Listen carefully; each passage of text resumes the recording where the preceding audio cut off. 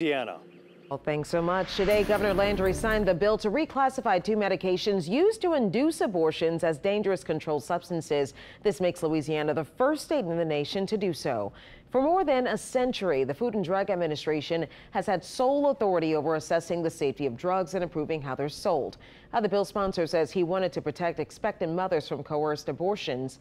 The law requires a prescription to obtain the drugs. Pregnant women are exempt from criminal charges under the law, and the U.S. Supreme Court is set to rule on a separate effort to restrict the use of the drugs. And in March, the justices didn't appear ready to limit any access.